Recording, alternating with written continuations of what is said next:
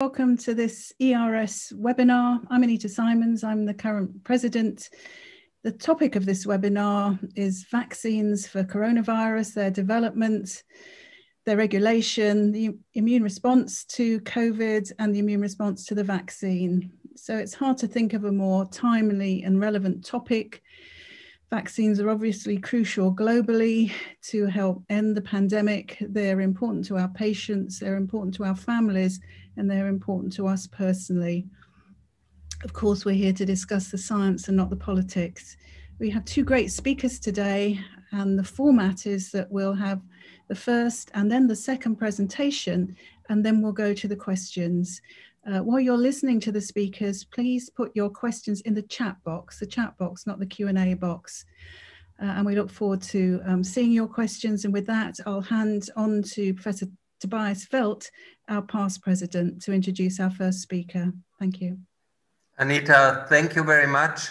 Welcome. I'm really, really impressed about the number of participants. And I think, I hope you will not be disappointed after this webinar, but I'm sure we will get a, a mess of new information. And with this, COVID-19 is something which is more than a hot topic today, and vaccination is seen as the light of the end of the tunnel out of the corona pandemia. So everything what is uh, reported about vaccination is of major interest.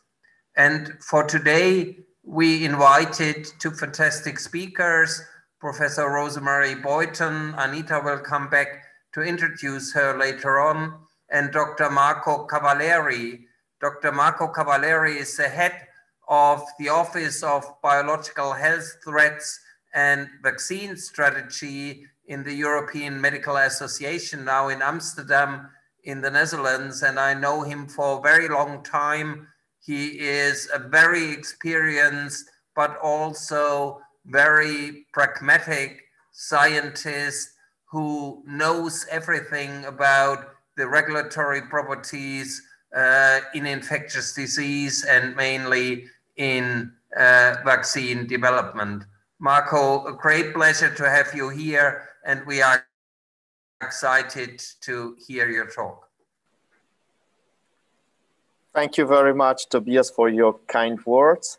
So uh, I'm ready to start my presentation. If I can have the slides on screen. Marco, please come to the screen and you will be able to control the slides.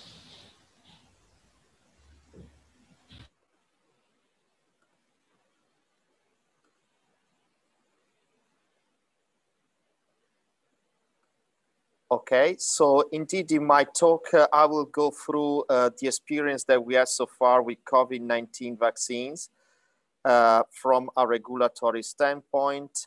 And uh, in particular, I will focus on the vaccines that we have already approved. So as you know, there are many vaccines under development for COVID-19 using different technology the majority of them are using the spike protein as the key antigen for their vaccine for a number of very good reasons. Some of them are focusing just on a portion of the spike protein, so the receptor binding domain called RBD, as you see on this slide. But I have to admit that the vast majority are focusing on the entirety of the spike protein. Then there are also few vaccines that are using the entirety of the virus. So with the inactivated virus vaccines under development as the two that have been brought forward from China as an example. But as said, today my focus will be really on two specific technology. First of all, the one that is called uh, under H here, so which are the replication incompetent vector vaccine uh, and in particular the one that use the chimpanzee adenovirus 3 as the vector, and also the one that are under I here at the bottom of this slide, so the RNA vaccine uh, that are encapsulated in lipid nanoparticles. As you know, two vaccines have been approved by the EMA using this technology. So let's start uh, with uh, uh, some information around uh, the vaccines using messenger RNA technology.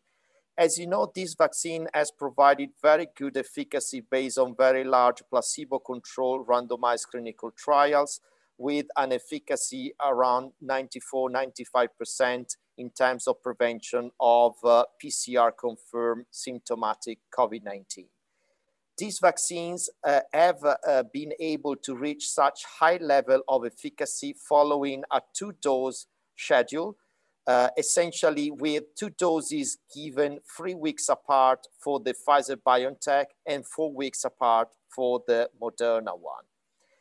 Here on this slide, you see what is the immunogenicity in terms of uh, neutralizing antibodies after a first dose and after the booster dose later on. So you can see here day 21, what is the level of neutralizing antibodies in adults for this vaccine.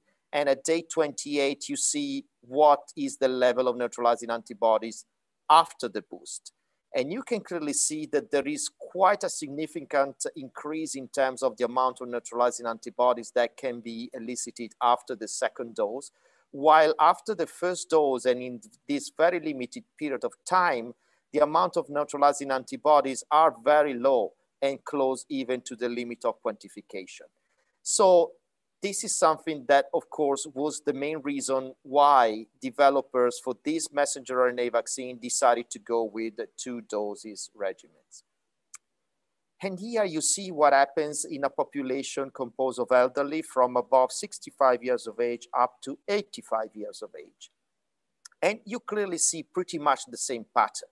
But what is important to note is that the level of neutralizing antibodies using the 30 microgram dose, which is the one that got approved at the end, is uh, uh, providing quite high level of these antibodies, these functional antibodies, and not too far away from what we're seeing with adults in general, which is extremely reassuring and is not what we normally see with other uh, technologies or more traditional vaccine, as indeed here the immunogenicity in the elderly seems to be maintained with this technology, which is quite remarkable and a very important feature of this type of vaccines.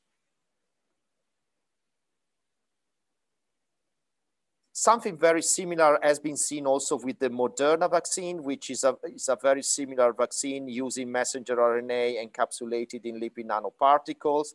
Here, the second dose was given after four weeks. And also here, what you see is at day 29, just before uh, the second dose is given, uh, you see that the level of neutralizing antibody measured with this specific assay are really low and really close to the limit of quantification.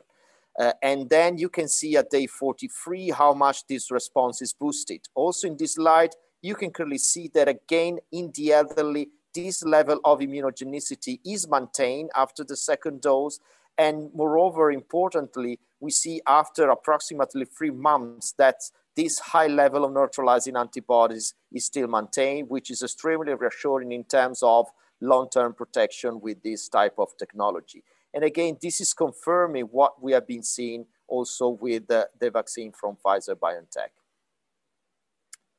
So this is a summary of what I just described to you in terms of the differences between the two vaccines and the fact that the second dose should be given with a slightly different interval. Efficacy, as said, is extremely high in terms of preventing symptomatic COVID of any severity.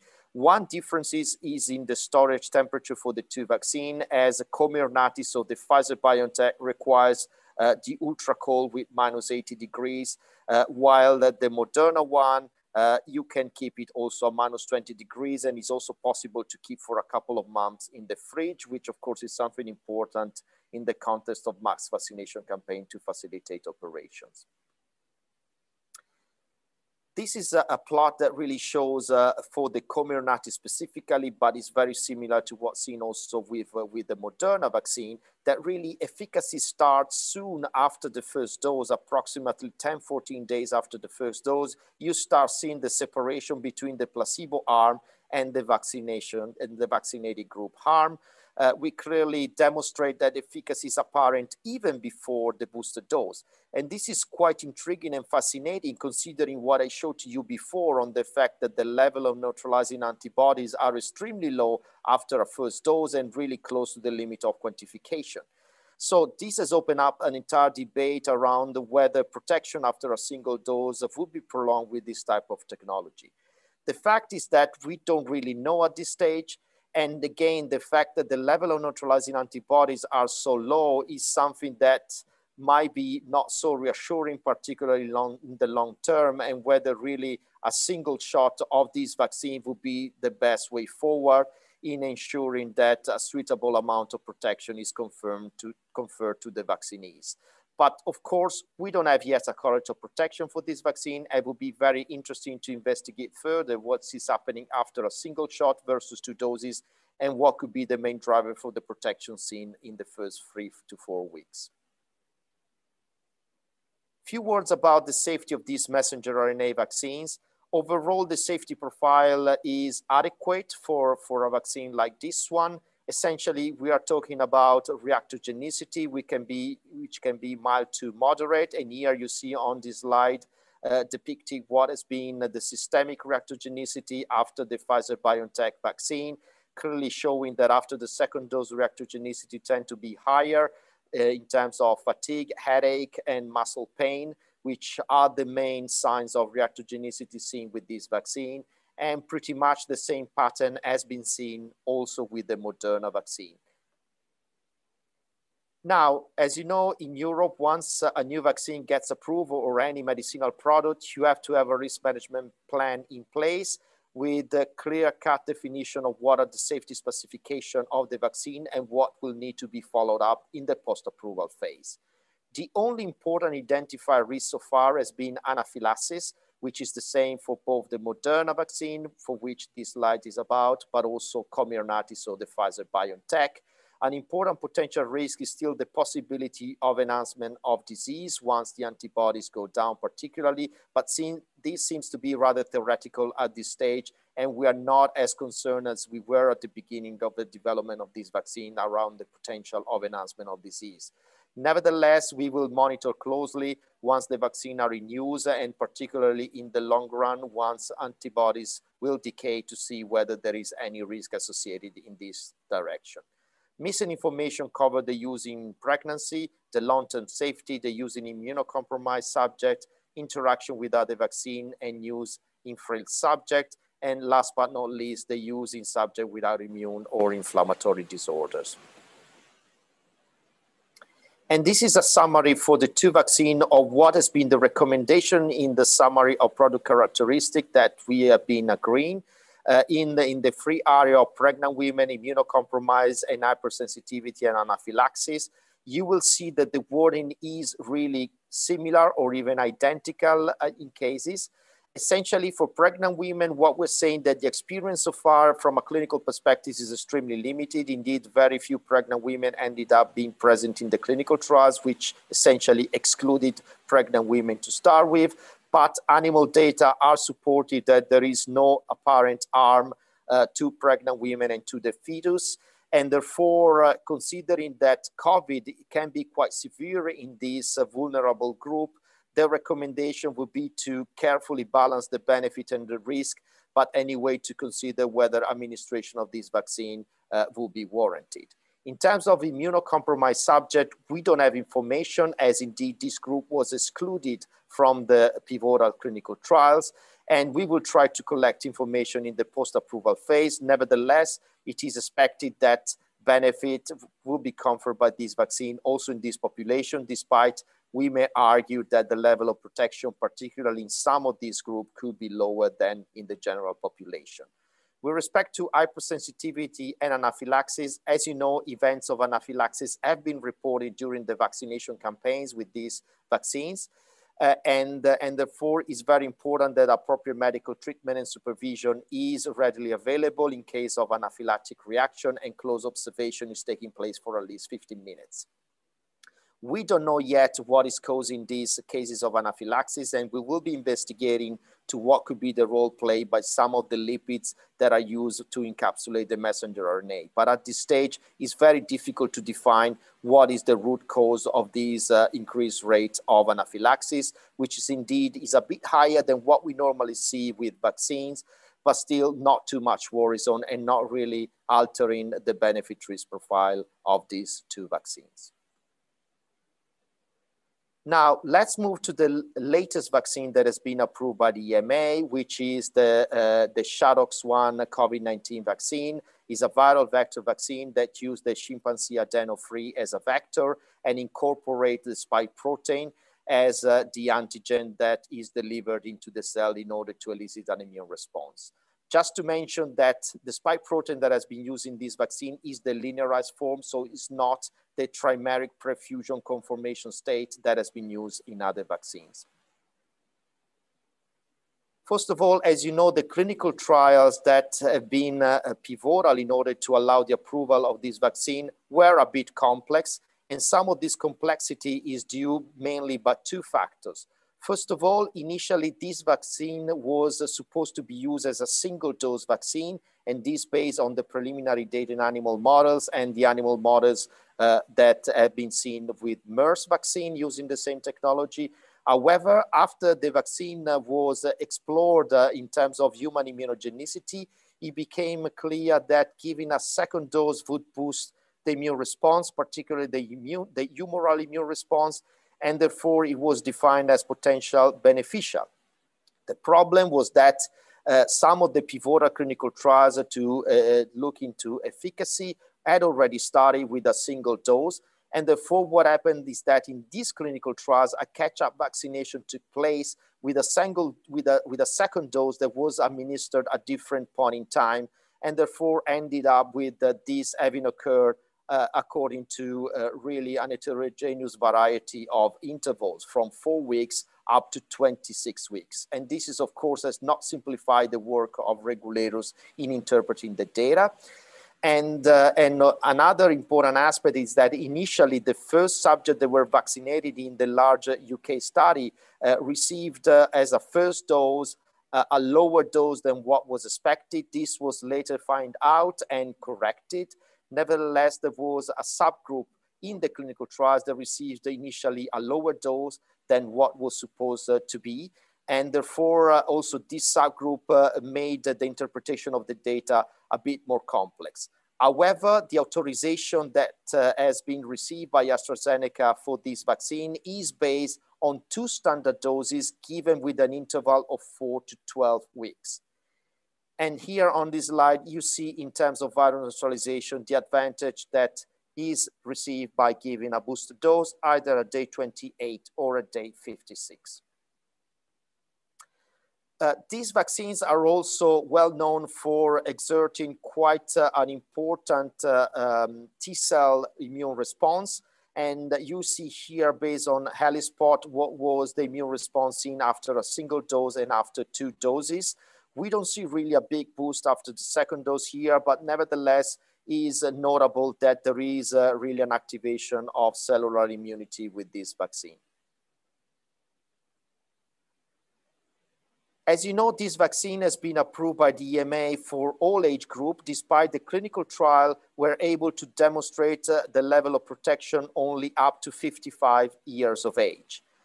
The decision to allow the approval and so the definition of a positive benefit risk also in subjects above 55 years of age is based on the fact that the immunogenicity data that you see here based on a validated uh, uh, pseudovirus neutralization assay are showing that the immunogenicity after two doses in elderly above 65 years of age is not very different than what's seen in adults uh, up to 55 years of age.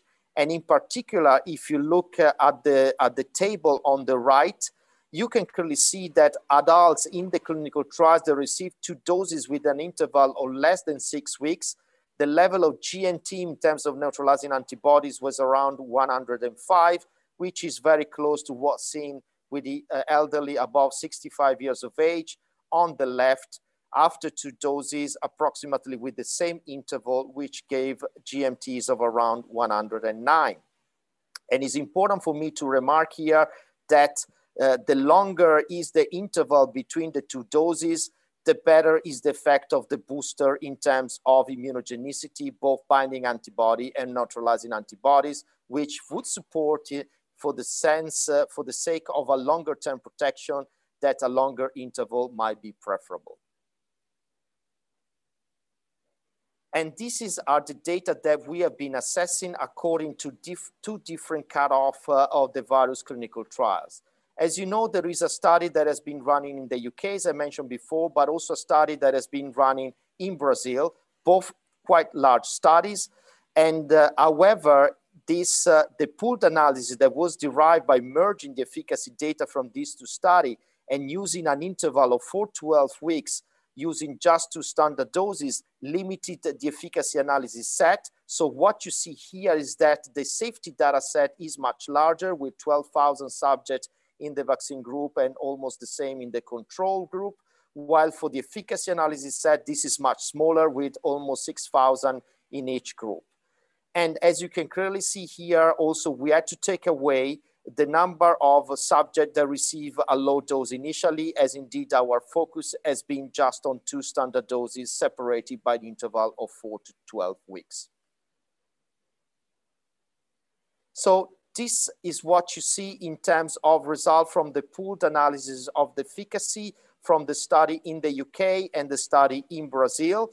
And you can clearly see here that at the bottom of this figure, uh, that there is a difference also in terms of efficacy if the second dose was given at different interval. So the post-dose two efficacy seems to be slightly better if you wait a bit longer, which will be uh, coherent with what we're seeing in terms of immunogenicity after the booster dose. Now, this is the, the analysis based on the most recent data cutoff, which is from the 7th of December. So more mature data than what I showed you before and what has been put into the Lancet publication in December. And you can see here that we come up with an efficacy estimate for the two standard doses with an interval of four to 12 weeks of around 59.5%. And you see here that the number of events indeed are much more than what's seen in the Lancet publication and in the present precedent cutoff. We are also reporting that the vaccine efficacy was 62.6% in participants receiving the two recommended dose, but with any dose interval. So intervals that go much behind the 12 weeks, that is what has been approved. So ranging from three to 23 weeks in a pre-specified analysis. And here you see what is happening across the different studies. So from the UK and Brazil in terms of the efficacy after different interval. As I mentioned to you before, there is a clear trend that if you wait a bit longer, efficacy after the booster might be better. But importantly would be what happens after the first dose, because if we can assume that there is something to gain in terms of immunogenicity and protection after a booster dose later on, it's important to be sure that the protection conferred after a first dose is suitable for such an interval. So at the very least, since the, the, the, approval has been for an interval that can be as long as 12 weeks, that we have sufficient data to show that the protection after a first dose is suitable. Here you see on this plot that indeed after 21 days after the first dose, there is already protection that is coming up as evident, and this protection is carried on forwards later on. So this uh, is something that will show us that indeed a first dose will be protected. Now, when it comes to define precisely how much is this protection up to 12 weeks, that is not easy to say, as indeed, as you see here in this table, the data from the UK study, if you look at protection after a first dose and 21 days after the first dose, up to a dose two censored at 12 weeks, is very different in the UK study and in the Brazilian study. In the UK, the efficacy was around 44% up to 12 weeks, while in the Brazilian study was 80%.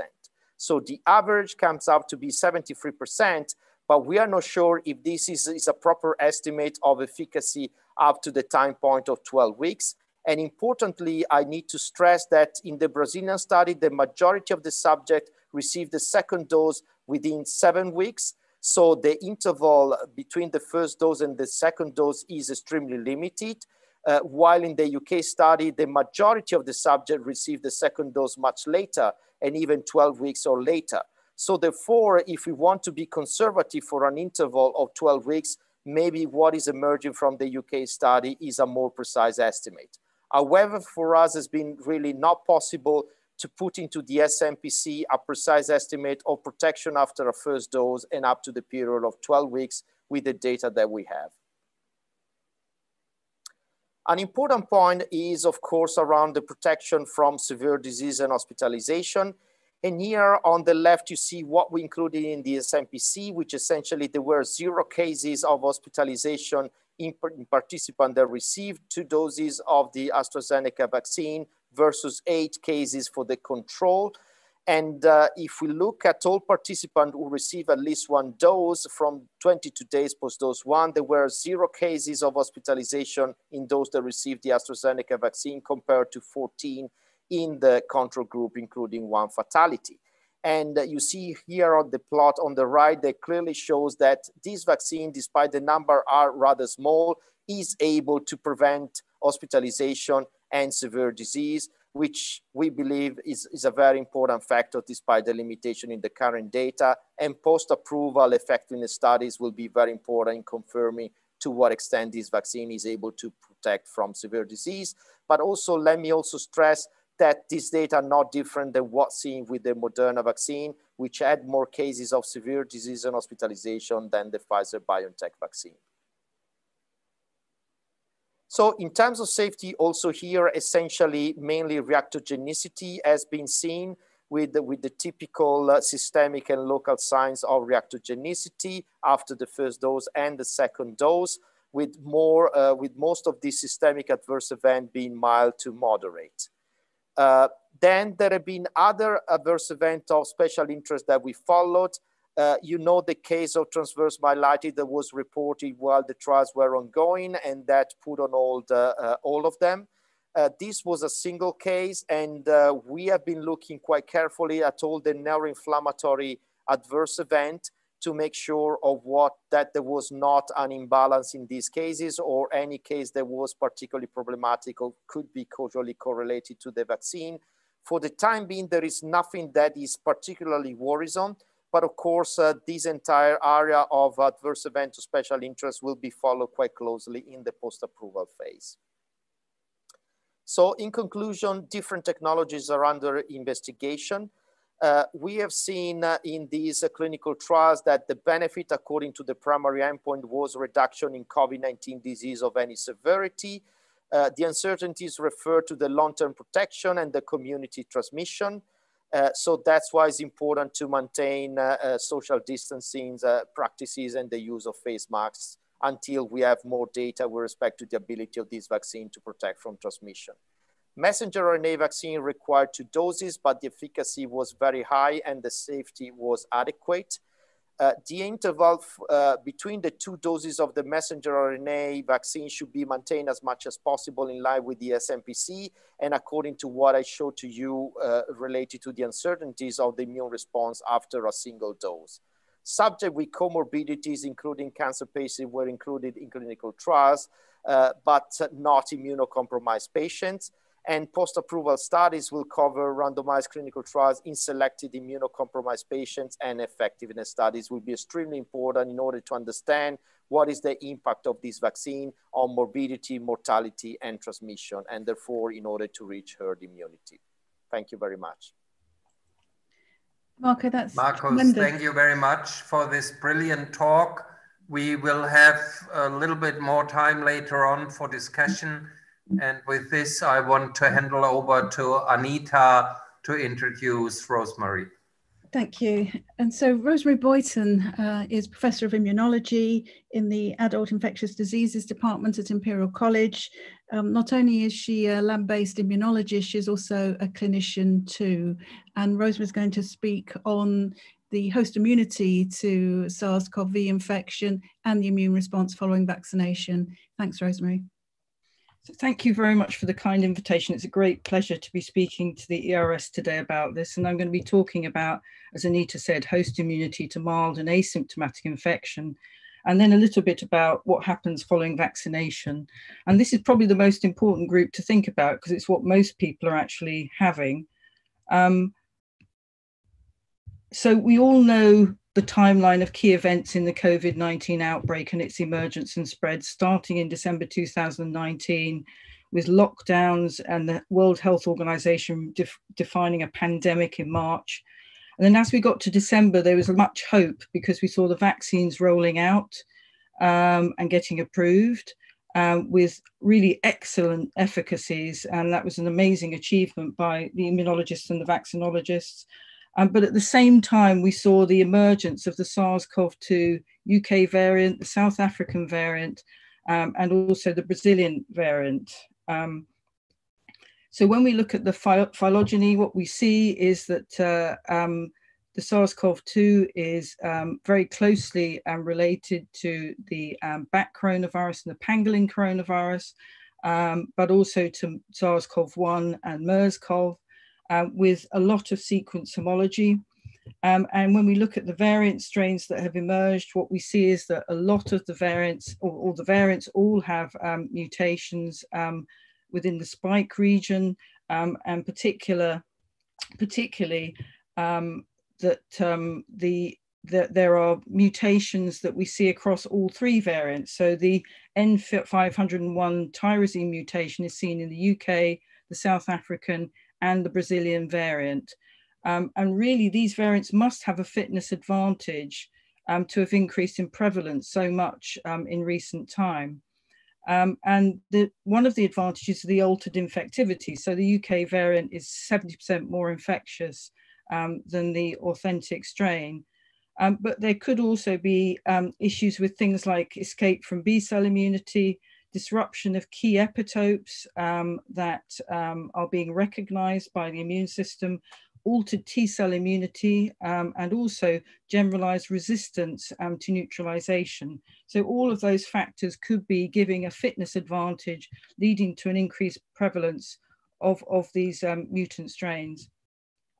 So, um, when we look at spike protein for SARS CoV 2, what we see is that there is a receptor binding domain.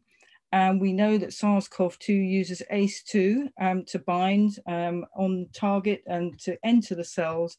And that also this is the target for neutralizing antibodies. Um, and in the figure on the bottom right, um, you can see that there are five critical residues within the receptor binding domain of SARS-CoV-2.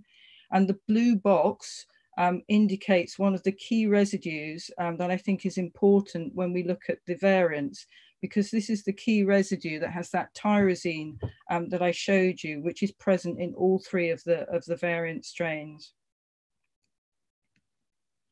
So in order to understand what's going on with any kind of new infection, the first thing that you can do is start to look at um, other infections from the same family of viruses. So we know that we've I previously identified two coronaviruses that cause severe pneumonia, SARS-CoV-1 and MERS-CoV, but these had very limited person-to-person spread. And so there were very small numbers relatively of confirmed cases, so 8,100 and 2,500 respectively. Um, the human coronaviruses are incredibly common and incredibly mild, causing the common cold, and there are four of them.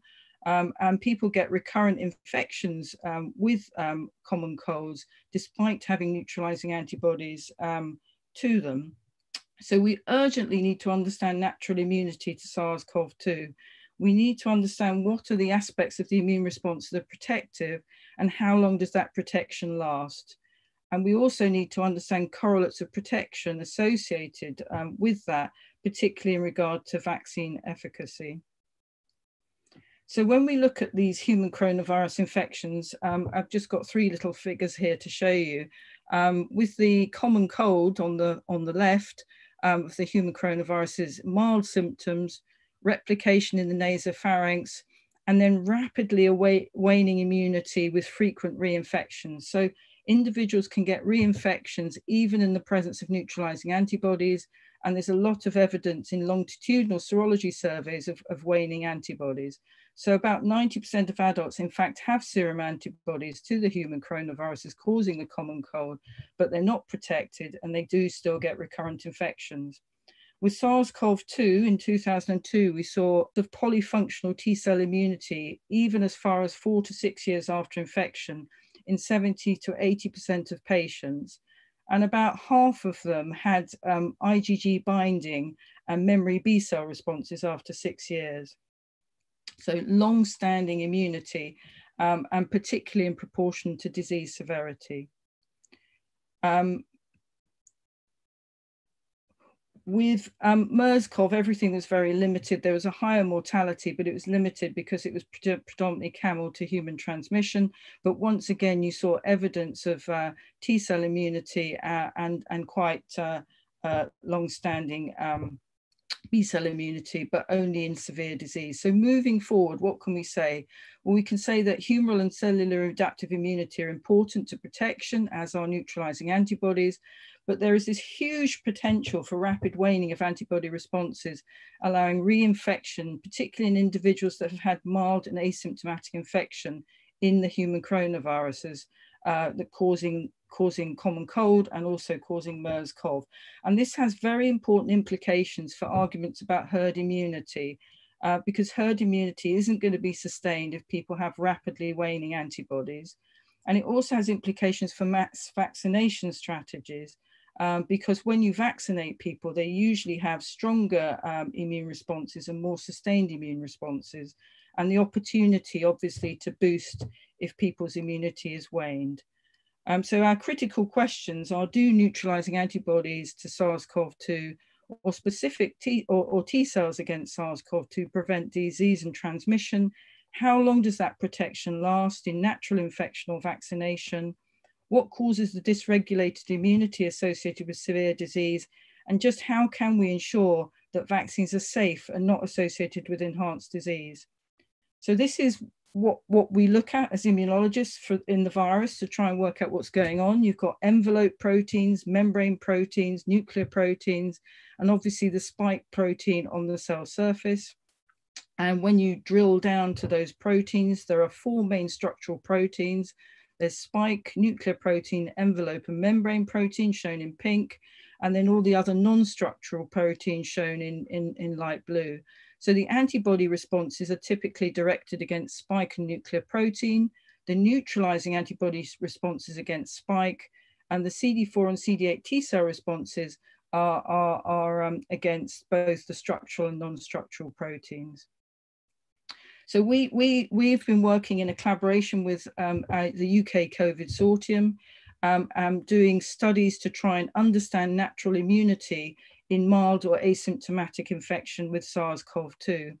And we used a cohort of healthcare workers that were recruited from the day of UK lockdown and followed for six months um, and are still being followed up. Um, and for the first um, six months, they had weekly PCR weekly um, serum um, serology, um, and they did symptom diaries. And this gave us the opportunity to, to follow them over time and identify which individuals had developed infection, um, by PCR or antibody tests and which ones hadn't. And so then we did a cross-sectional analysis where we looked at healthcare workers with laboratory confirmed SARS-CoV-2 infection um, and those without and we could ask questions about specific T cell responses, neutralizing antibody responses, and the relationship between the two. And within the cohort, approximately 30% of the individuals were completely asymptomatic that became infected. So looking at the infected um, healthcare worker cohort, what, what we're showing you here is the T cell responses. So these have been measured using a technique called T cell ELISpots, which looks at the gamma interferon response of the T cells. And what you can see is that there are T cell responses against the spike, the nuclear protein, the membrane, and all 3A, 3A and B and 7A. Um, and 85% sorry, of individuals had a, a response um, to nuclear protein, um, and 49% had a response to spike protein at, at, at, at 16 to 18 weeks after um, infection. We also found um, T cell responses in our pre-pandemic controls and also in individuals with laboratory confirmed SARS-CoV-2 infection. So if you look at the groups here, These are the individuals with laboratory confirmed infection that I've just shown you. Um, and what the donuts are showing you is the proportion of individuals that are responding by intensity of response. This is showing you the pre-pandemic controls and what you can see is you've got T cell recognition occurring in individuals who'd never ever met SARS-CoV-2 because they were recruited um, in 2017 to 18. And then these are the healthcare workers who would have been exposed to SARS-CoV-2 but never became infected um, in the COVID-19 symptomatic um, and asymptomatic and um, non, non-case definition symptomatic. So there's T cell recognition across the board. What we also found was that um, individuals that had um, laboratory confirmed SARS-CoV-2 with case definition symptoms had a stronger T cell response than those um, that were asymptomatic. So you see that there's a stronger response across all the antigens um, that we looked at um, with, within SARS-CoV-2.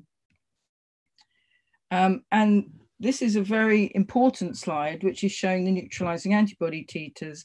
Um, and what, what I'd like to show you is that actually the majority, so 89% of the laboratory confirmed infected healthcare workers, in fact, made very good neutralizing antibody responses. And if you remember from Marco's talk, he was highlighting 100, uh, an IC50 of um, 100 as being, um, you know, in line with the um, responses that seem to be associated with efficacy of the vaccine studies. So, so these are very good T cell, good, sorry, neutralizing antibody responses. And in fact, 66% of these laboratory confirmed individuals had IC50s over 200, which we took to be likely to correlate with um, functional protection based on published macaque studies at the time, because uh, when we did this work, um, the um, vaccine studies hadn't at that point been published. What we also found was that the um, female healthcare workers had higher neutralization titers um, than the male. And indeed, the older healthcare workers had higher neutralization titers than the males. So those greater than 50, 88% had titers of IC50 greater than 200, which we think would be protective. And then of the um, lower age groups, um, slightly less, 59% had an IC50. Sorry, the slides seem to be running away with me. Had an IC50 um, of, of, of um, greater than 200. So older people um, appear to have um, higher, higher levels of protective um, neutralizing antibodies.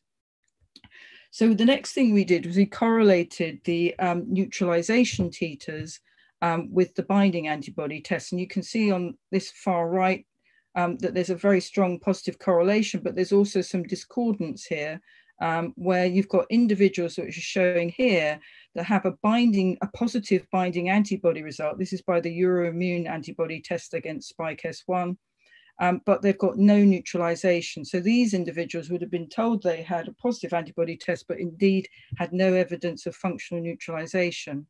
The other thing that's happening here is that some of the individuals have had their antibodies have waned over time. So by 16 to 18 weeks, their antibodies have gone from positive to negative by the Euroimmune test. And yet they've still got functional neutralization at a very decent level. So the Euroimmune antibody test and perhaps some other spike uh, one binding antibody tests can be unreliable in terms of um, defining whether or not someone's actually had an infection or whether or not they're indeed still um, protected from infection. The other thing that we noted that I think is really important is an uncoupling and a discordance between the T cell and the neutralizing antibody response. And what I'm showing you here is the neutralizing antibody responses um, IC50 values ranked um, in increasing at an increasing level um, with um, the highest here and the lowest here. So these individuals are making very good responses. These individuals are making no response whatsoever. And this is the 200 line that I pointed out. So in fact, the majority of these individuals would be um, protected based on their neutralizing antibody levels. And if you look at their T cell levels, you can see they're kind of all over the place. But the individuals who had no neutralizing antibodies did have multi-specific T cell responses. And on the next slide, I rank those multi-specific T cell responses um, according to the different um, antigens um, that we've looked at. So they're multi-specific because they're T cell responses against antigens other than spike. They're against spike, nuclear protein, membrane protein, and RF3 alpha, 3A and 7A. And what you can see is that for those individuals that are making no neutralizing antibodies, um, some of them are making um, quite nice multispecific T cell responses. But what you can also immediately see is that there's a completely uncoupled response. So there are individuals that have very high, pardon me, very high neutralizing antibody titers, uh, but no T cell response um, whatsoever. Um, and there are other individuals that have lower neutralizing antibodies and quite, um, quite decent T cell responses. So quite an important uncoupling. Now, I mentioned earlier that the T cell responses can decline as you go from people with case definition symptoms to non case definition symptoms to asymptomatic. Um, and that's for spike protein and for nuclear protein. But it's quite reassuring that the neutralizing antibody titers remain high. Um, so the, the, the dark ones here are greater than 200 again. So these remain high and probably protective across individuals independent of the whether they're case definition or asymptomatic. So in terms of summary, the conclusions about adaptive immunity are that there are multi-specific SARS-CoV-2 T cell responses, there are pre-existing T cell responses in pre-pandemic and uninfected exposed healthcare workers, that T cell responses are lower in asymptomatic individuals, that the majority of the healthcare workers had that had become infected had neutralizing antibodies at 89%, um, probably at levels that are likely to be protective. The worrying thing is that means that 10, 11% of healthcare workers were once again susceptible to reinfection because they didn't have um, neutralizing antibodies. And then you've got higher titers of neutralizing antibodies as you increase age and also in women. And then lastly, probably very importantly, this uncoupling of the neutralizing antibody and T cell responses. So Marco's done a, a, beautiful summary of the vaccines, so I don't have to now, which is great. Um, but um, he obviously pointed out the high efficacy, which is an incredible achievement, um, I think. Um, and the three top three ones I'm showing here have been rolled out um, in, in, in the UK. Um, but two other studies that he didn't mention that I'd just like to mention because it's of interest to the variant strains is that um, we've recently had um, press releases last week from um, Janssen and Novavax about um, their um, efficacy for their um, vaccines. And what they found was that, for, for example, for the Novavax, va Novavax vaccine, they found in, in a UK study that there was 89% protection. But in that UK study, 50% of the people studied had been infected with the variant strain. And when they split it up for who'd been infected by the variant and who'd been infected by the authentic strain, they found 95% efficacy against the authentic virus and only 85% against the UK variant. And when they looked in their South African um, cohort, they only found 60% efficacy in HIV negative individuals. And in South Africa at the moment, 90% of individuals are in fact getting infected with the variant strain. So that suggests that there might be reduced efficacy of the vaccines um, against um, the um, variant strains.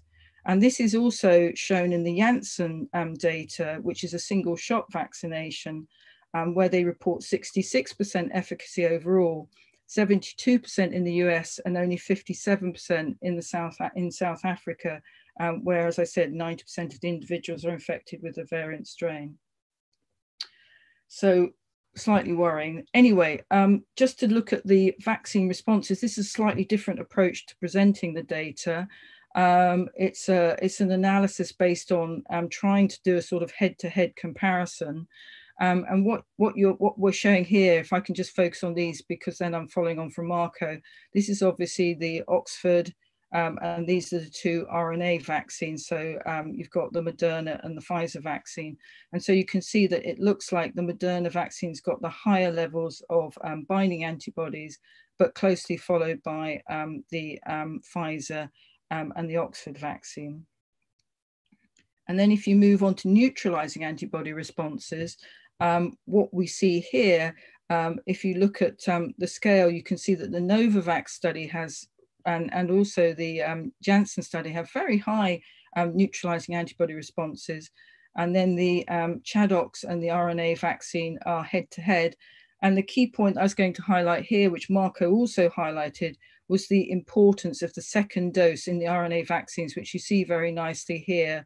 uh, where if individuals haven't received the second dose of the vaccine, they're really, you know, a log down on their responses um, and in a kind of danger zone for potentially um, not actually being protected.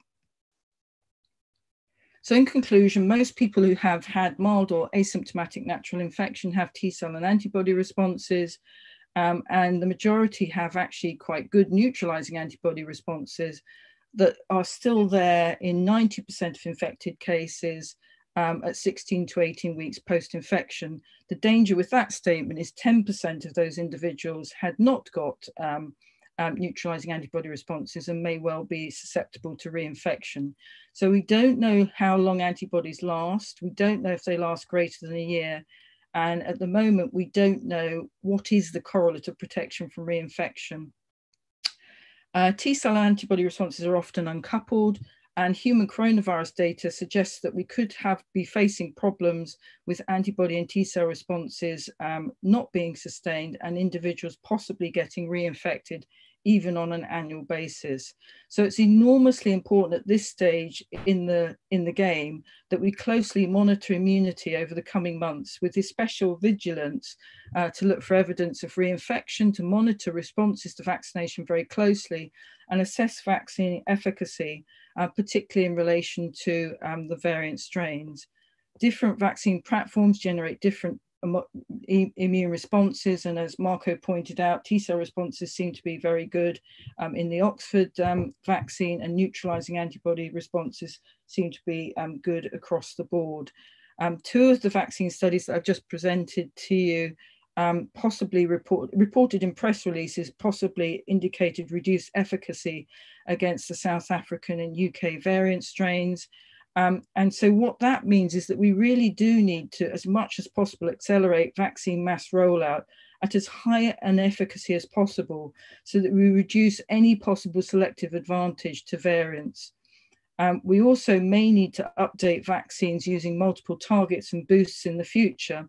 And in order to be able to do that effectively, we need to have the infrastructure um, and the regulatory mechanisms in place so that you can rapidly design and make new vaccines, conduct the preclinical and clinical studies, obtain regulatory approval at pace, and then scale up in production and deliver mass rollouts. It's also, a as a matter of caution, it's important that we avoid protocol adjustments that may partially reduce vaccine efficacy because if you partially reduce vaccine efficacy at this crucial time during the pandemic, you actually could create a situation where you confer a fitness advantage to variant strains or that favors immune escape, which could create problems um, in the future. Um, so this is really just to say that um, right at the beginning of the pandemic, um, we really cautioned that um, the key way to control SARS-CoV-2 infection uh, was to, to stop transmission. Um, and, and that was really going to be achieved um, through through you know good solid um, vaccination strategies. And I think that's the end. So thank you very much. That's that's wonderful, Rosemary. Thank you very much. So much information, um, some encouraging and some slightly worrying. So we'll come to the questions now, and uh, we're going to go in turn. So Tobias, do you want to um, start with some? Yeah, we have a huge number of questions, and I will start with one which come very often. This is long-term effect of the vaccine. So to both of you, what, what do you expect? How long the efficiency will stay and will we need a, a booster vaccination after a year like influenza, like flu, uh, every year uh, vaccination? I, I, I know there's no data available, but what is your expectation? Maybe Rose, you will start. Um, so, I, I mean, the, the, the, general immunologist answer would be that following vaccination, you'll have a more, more potent response and possibly a more sustained long, longevity. Um, and so, so I would definitely predict that. Um, I think the early, you know, the vaccine studies that we've seen sh- so far show very good, very potent responses in terms of neutralizing antibodies that clearly are in line with um, what we've seen in natural infection and if in many ways better. So when people are boosted, they're substantially better. Um, and I am relatively certain that I would bet that the vaccination will last, the protection from vaccination will last longer than from natural infection. And the advantage of vaccines is that if, if, if it does wane, then you can boost. Um, whether or not you'll need an annual vaccination like the flu vaccine, I don't know. I think that depends a lot on what happens with all these variants.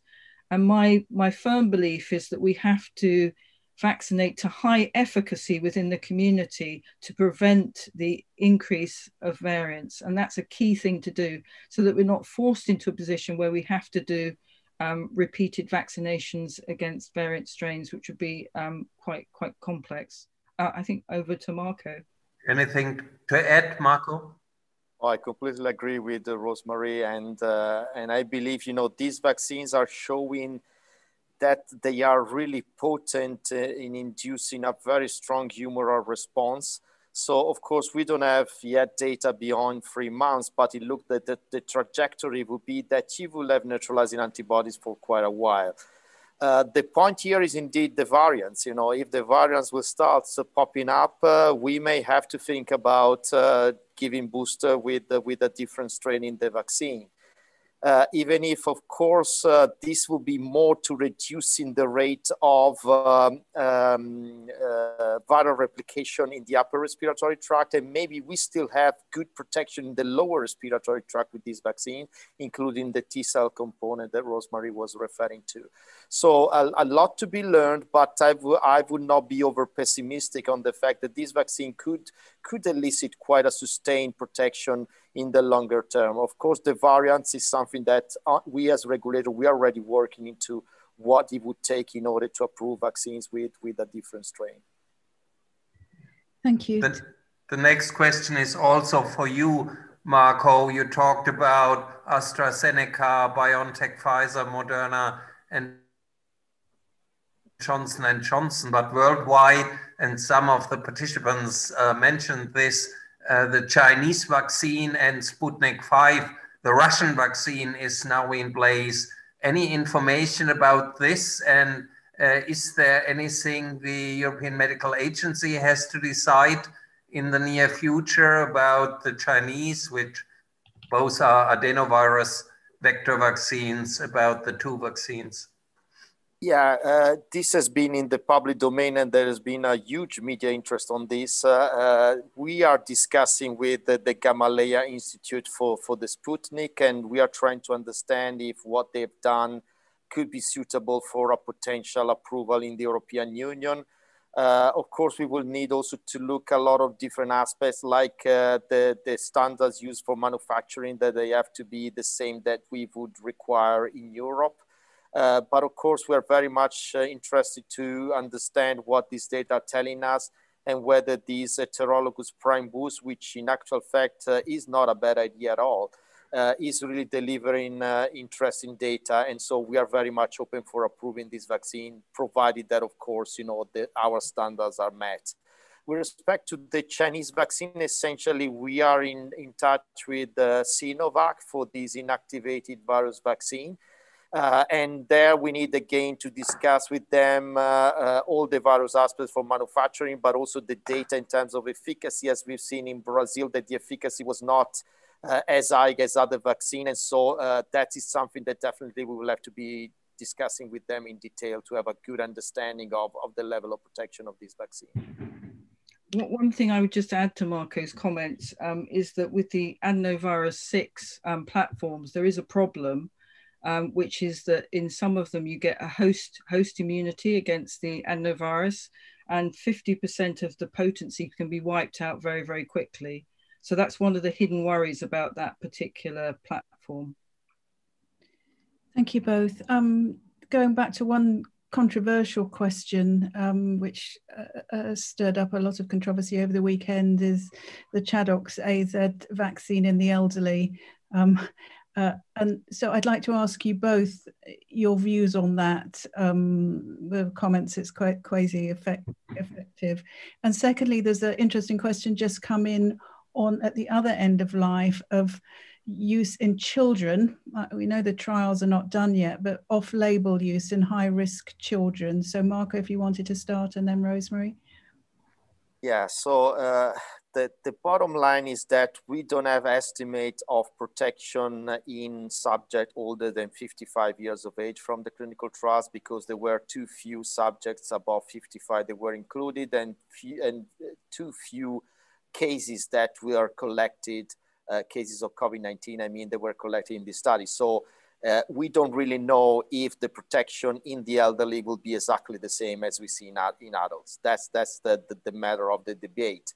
We approve it for the elderly too, because, you know, despite the fact that we don't have this evidence, First of all, from a safety perspective, we had at least 1,000 subjects above 65 years of age, and we didn't see any problem. Actually, reactogenicity is milder in the elderly than in adults, which also could be an important factor. And secondly, we saw that the immunogenicity, as I showed to you before, is pretty okay and is not different or significantly different from what we see in, in adults. This is not something that happens normally with the more traditional vaccine that we see in the past. If you think about the influenza one, you know, where immunogenicity really dropped dramatically in the elderly compared to adults. So the fact that the immunogenicity is retained and based on the fact that the safety is fine, we did not feel like the benefit risk here can be considered negative. On the contrary, we think that probably there is a good, a good, good value to use this vaccine also in the elderly. Of course, you know, it would have been great to have clear-cut estimate of what is the level of protection and not forgetting that in the elderly, what matters the most is protection from severe disease and hospitalization. And based on the signal that we have in, in adults, uh, we may think that this vaccine could, could do the job as well in the elderly. I, I cannot agree more, yeah. uh, there are a lot of questions with regard to comorbidities. And for the Respiratory Society allergic reaction, which has been reported by using the BioNTech uh, vaccine, is one of them. So, is it a real problem? And are there special recommendations for allergics with regard to different vaccines? No, I think uh, so far, I mean, a lot of allergic subjects were included in the studies, like in the Moderna one, but also the ChAdOx one and the Pfizer BioNTech, including asthmatics. They were very well represented in the trials and nothing really of concern emerged in this population. So that is extremely reassuring. Now we have this case of, of severe allergic reactions, uh, which essentially has been uh, in the most of the cases in, in subject with an history of anaphylaxis or severe allergies, particularly to food uh, or medicine in general. And as you know, there is a lot of discussion around the role of PEG as a potential immunogen that might be behind this. The reality is that we don't know yet. Uh, but I have to say that now this has not been uh, uh, coming up as really major after the first phase of the vaccination campaign. So we are monitoring closely, but we don't feel there is anything really to be worried for uh, people that have uh, allergies that you know, are not severe. And even with the severe one, there is no reason for us to contraindicate. Simply, you have to be careful and uh, and uh, monitoring what is happening in the in the minutes after the vaccination. Thank you, Marco. There's uh, several questions too on the delay in the second dose, um, up up to 12 weeks. Rosemary, I mean, the question is, what evidence is that based on? of course, yes, we know regulators regulate, and then public health people yeah. use those recommendations.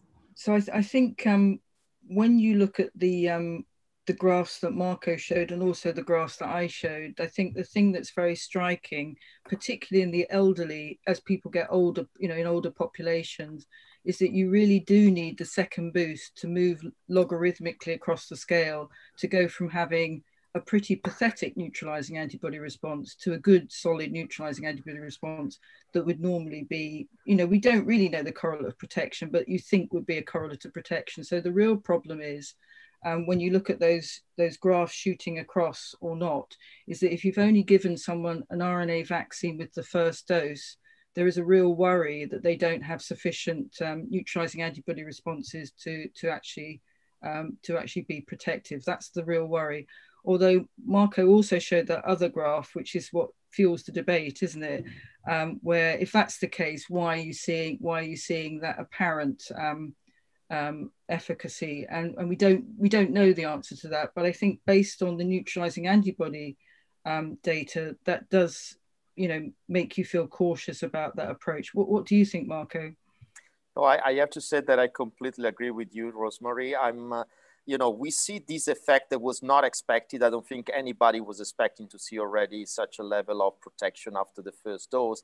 But again, it's a very short interval. We're talking about three weeks, and it will be important, you know, to look what happens after three weeks, because mm-hmm. indeed, as you said, and uh, it's what I, you know, I try to show in my slides too, the fact that the level of neutralizing antibodies are really close to zero after the first dose is worrisome, even if we don't know exactly the course of protection we know from the macaque studies that have been conducted and you alluded to that they matter. They are quite important for protection from symptomatic COVID-19.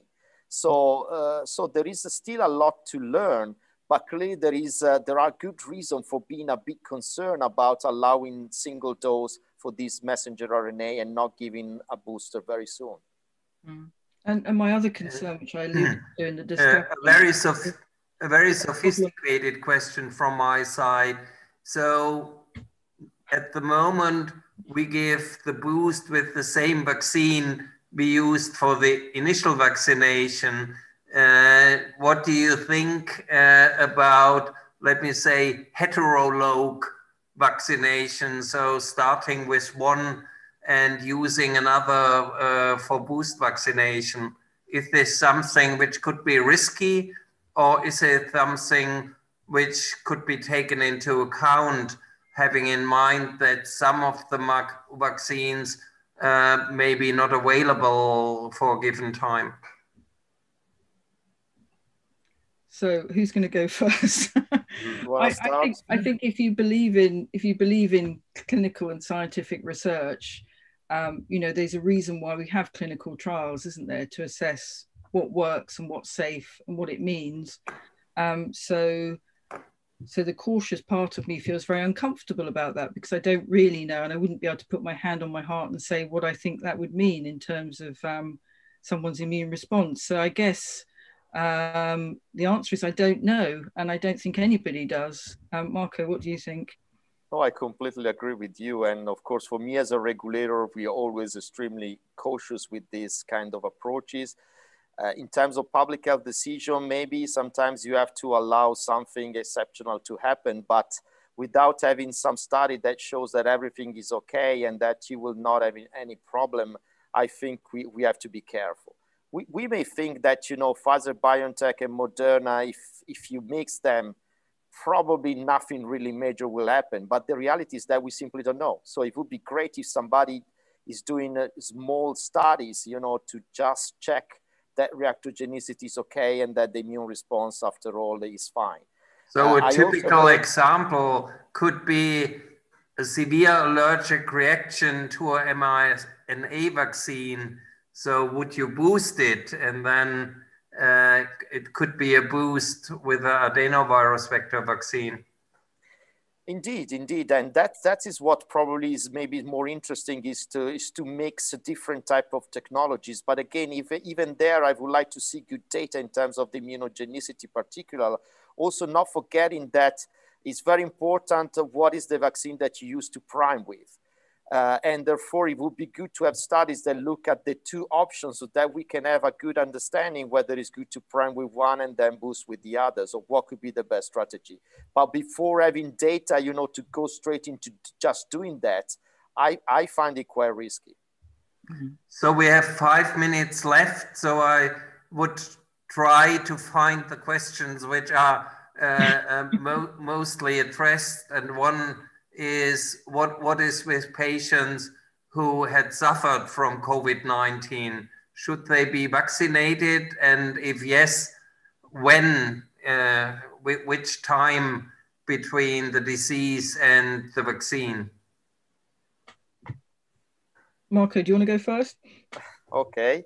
Uh, I think, you know, Rosemary showed a very nice slide to that, that I like the fact that uh, whoever had an history of COVID-19, uh, the immune response can be extremely heterogeneous. uh, you don't know exactly how many neutralizing antibodies they have, what has been the T cell response. And therefore, you know, in principle, it would be good that also these people get vaccinated as, as a certain point in time. I can fully understand the public health authority may not prioritize this group, but it will be a mistake to consider that they are protected and therefore they don't need to be vaccinated. Now, uh, people with an history of COVID-19 were not included in the clinical trials, but there were some seropositive subjects included in all the clinical trials with all the three vaccines. And I've seen a few data because, of course, in terms of protection, the, the, the, numbers were too small for, for saying much. But in terms of the immune response, it's pretty clear that maybe in subject with an history of COVID-19, you may not need to give two doses. Unfortunately, we don't know yet, but it would be great to do some study that really look into what is the immune response after you receive a single dose, because indeed, probably there you're more in a booster scenario and a single shot would do the job. Mm. So I, I I'm going to echo what what Marco's just said. I guess he knew I was going to do that, but I think I think in many ways, obviously, I think the heterogeneity of the response is the problem because you can't predict exactly what you're going to get next. Um, and I don't think people should be denied vaccines because they've had a history of infection. I think that could be a huge mistake. But also, I think having had an infection could be a prime. So when you give your first vaccination, you're actually boosting. And so, what we need to do is look at responses in people who have been previously um, infected and see how they respond when they're vaccinated, and then make a judgment call about how strong that response is um, and what the quality of that response is and the longevity of that response, and ad- adjust our schedules accordingly. So I, I, I know the data which are not published from two of the companies we talked about today and about 150 patients which had been vaccinated and had been infected uh, in, a, in a given time frame to the vaccine. The antibody response is unbelievable. Mm-hmm. Uh, it's much, much higher than the antibody response uh, in pure vaccination. And the boost does not enhance the antibody response in any way. So the first vaccination is a kind of boost to what happened uh, during the disease. Mm. So that all, surprise altogether, I'm not against in vaccinating. I personally, I'm not against in vaccinating uh, people who suffered from the disease. It's much more easier as longer uh, the disease uh, uh had been gone. But I think at the moment, there's no need for a boost, for a boost vaccination. Hmm. And just going to the other end of the spectrum, uh, a few people have been asking about uh, vaccination in immunosuppressed patients, and I, you know, mentioned they weren't included in trials. We just vaccinate them and then hope we get some kind of response. Is that the clinical aim? Yeah, I, I, please, please, Osman. No, you, you go ahead. That's fine. I didn't mean to interrupt you. No, uh, no, I, I uh, yeah, of course, you know, unfortunately, in, in the pre-licensure study conducted in the midst of a pandemic, you, you cannot expect that there is a, a good coverage of this, even if we want to know. Of course, all of us want to know what is happening when these groups get vaccinated. So uh, in the post-approval phase, we are trying to have some studies, even randomized control trial, looking into immunogenicity and safety in some of these groups. But the problem is that the immunocompromised patient is such a large group of different type of, uh, of immunocompromised subject with, with different mechanism that is so difficult to have a single study that will address all, all the needs and all the questions. So, of course, I saw in the chat anti-TNF, of course, that is a very large group. So most likely will be one of those addressed. But like the uh, anti-CD20 therapy, that's also a very important one. And then it's very difficult to have data throughout all this group in the in randomized control trial post-approval. Uh, and the other problem is that, of course, even if we see the, immunogen- the immune response being lower, what does it mean in terms of protection without a correlate of protection? So it's that's the, the, the, other dilemma. And that's why it would be good anyway to have good effectiveness studies that will look into this population to try to understand what is happening. But I guess it would be great if learned societies and different academic groups, they try to set up studies in which they try at least to measure the immune response in these various groups so that we have a good picture overall of, of what is happening in all these different patient populations.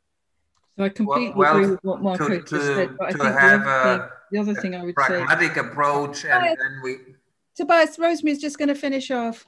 Sorry, I, I only one. Sorry, one statement. I, to have a pragmatic approach, I think in the autoimmune patients we should stay with the given treatment, the treatment for the autoimmune disease, and then vaccinate and not reduce uh, the immunosuppressive drugs because we do not know what will happen.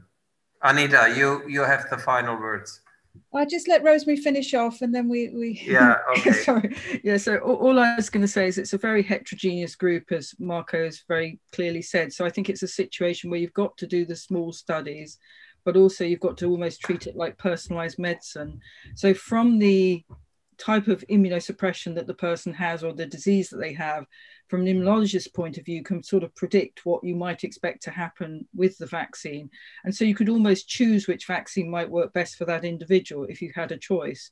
Um, and I think that's what we might end up having to do. So if you had patients with CVID, you can imagine that they might develop T cell immunity, but, but not antibody, et cetera, et cetera. So I, I think it, it's, it's a situation where it's so complicated, it's not appropriate to think about it in terms of a mass population based rollout. It's got to be individual personalized medicine.